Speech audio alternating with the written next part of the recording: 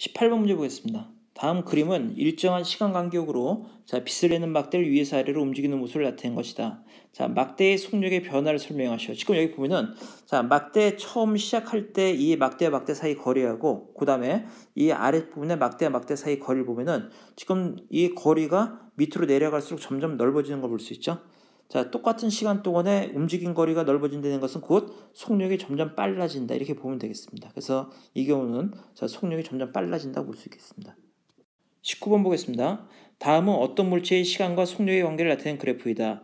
이 물체가 20초 동안 이동한 거리가 몇 미터인지 구하시오. 자, 이거 앞에도 말씀드렸지만은 자, 시간과 속력과의 관계 그래프에서 항상 그래프 아래의 면적은 이동 거리와 똑같다 이렇게 되겠습니다. 따라서 우리가 보면은 자 10초 동안은 지금 자 5m per sec의 속력으로 이동했는데 지금 이때 우리가 이동 거리를 보면은 자 50m 이동했겠죠? 50m 이동했는데 지금 이 문제에서는 물체가 20초 동안 이동했다고 그랬어요. 그 20초면은 자 이걸 계속 연장을 해서 이 시간이 20만큼 가면 되겠죠. 그러면은 이 사각형 아래의 면적은 자 20 곱하기 5니까 100m 이동했다고 볼 수 있겠습니다.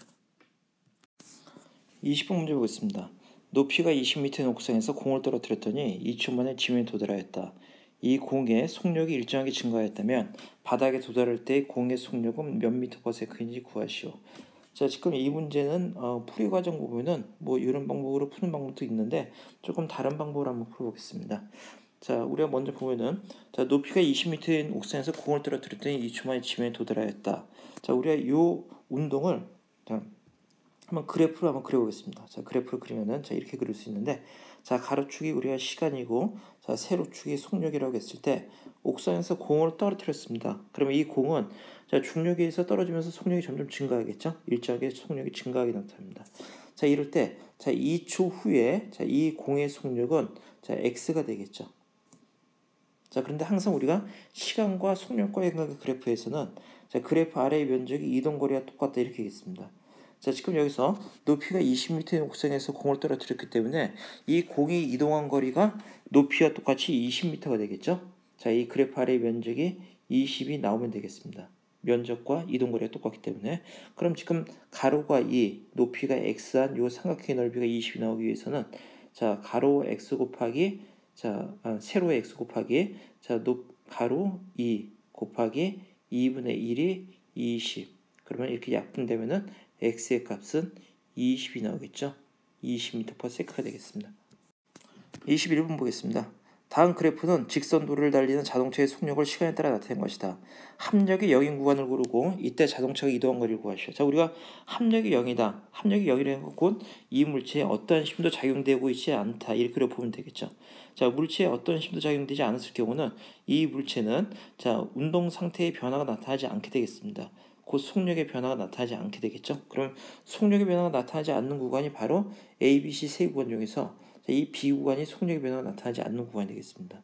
그럼 이 구간에서 이 물체가 움직인 거리라는 것은 이 그래프 아래의 면적과 같기 때문에 자 가로가 4, 어, 가로가 2, 높이가 40인 이 사각형의 넓이를 구해주면 되겠습니다. 그러면은 답은 80m가 나오고 자 구간은 B 구간이 되겠습니다. 22번 보겠습니다. 다음 그림은 수평 방향으로 던진 물체의 운동을 일정한 시간 간격으로 나타낸 것이다. 물체의 속력을 물체에 작용한 힘과 관련지어 수직 방향과 수평 방향을 나뉘어 설명하시오. 자, 지금 이 물체를 우리가 먼저 보면은 자, 수평 방향으로 움직이는 운동과 수직 방향으로 움직이는 운동 두 개를 나눠 볼 수 있는데 자, 지금 이 물체는 자, 떨어지면서 계속 일정한 중력이라는 힘을 받게 되겠습니다. 자, 중력이라는 힘을 일정하게 받기 때문에 자, 이 물체는 밑으로 떨어지면서 속력이 일정하게 증가하게 되겠죠. 그러니까 수직으로는 속력이 일정하게 증가하는 운동을 하게 되겠습니다.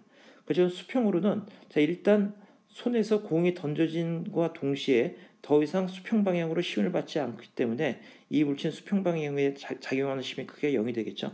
그럼 아까 말씀드린 것처럼 자, 힘의 크기가 0일 경우는 운동 상태의 변화가 없다고 얘기했습니다.